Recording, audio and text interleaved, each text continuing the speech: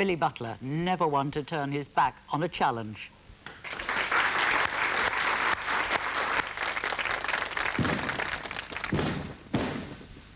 Hi, good afternoon. No, it's not the Emperor Ming, and no, it's not Big Daddy. It's BB, Mrs. Butler's eldest. Welcome to Live from Tomb, which today I'm investigating the wrestling phenomenon. Why is it so successful? Is it really as rough and tough as it seems? Does it make even mightier men than me quail? Well, to try and find out, I've invited along a former British heavyweight, a great wrestler in his heyday, and now a great referee. Let's welcome Orig Williams I've rest myself in my cloak to give the women in the audience a view of the chest and the physique. Right.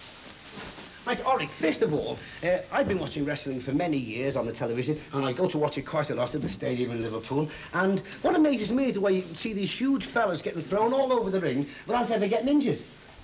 Well, it isn't a case of that they don't ever get injured. They get injured quite often. But the secret is in learning to fall. You must go with the fall at all times. When you're thrown, the secret is to go with it at all times. So is that how some of these big fat fellas who are not as fit as myself don't hurt themselves inside and that? Well, they don't, because they go with the fall. I see. And well, how much strength is involved? Is it all timing or is it... It's all timing and skill.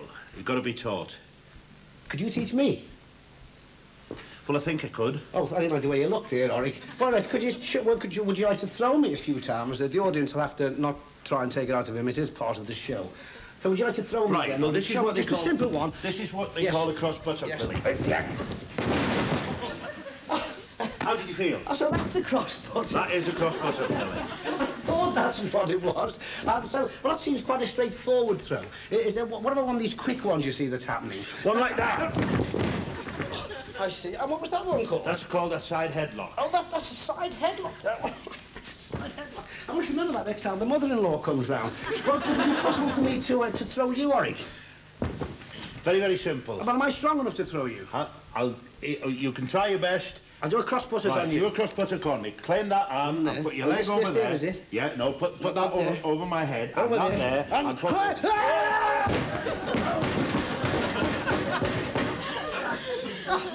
That's not hey, Billy, you're quite strong. Well, I, I actually, I've got a hold which I learnt in Liverpool when I was a kid. It's a dead secret, dead powerful hold. And I wonder if there's an opponent you've got I could try it out on. Do you think you know enough to do it? Oh, well, you've showed me the ins and outs of it. And Shall you know I... it all? Oh, I'll have a go. That'll do me. Well, it's Fine. very, very funny. I've got somebody along with me right. that'll shoot you. You're next, Turnbull. You're next. Thank you, Orange.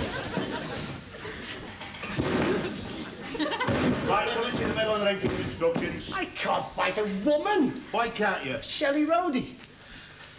You said you'd fight anybody and it would be straight. Girl. I can't fight a mere girl. This happens to be the European and British ladies wrestling champion, Miss Mitzi Mueller.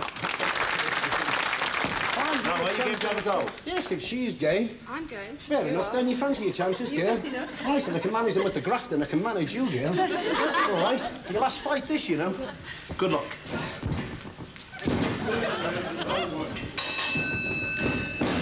Billy Butler's opponent this afternoon is Miss Mitzi Mueller, all the way from Bedlington in the world, British and European ladies champion. Well, Mrs. Butler's eldest really seems to be in deep, deep trouble here. Yes, she has a side chancery or a single elbow. It's not a pretty sight. I think referee Orig Williams from Rhyl in North Wales, yes, he's going to have an extremely difficult task for warning points here.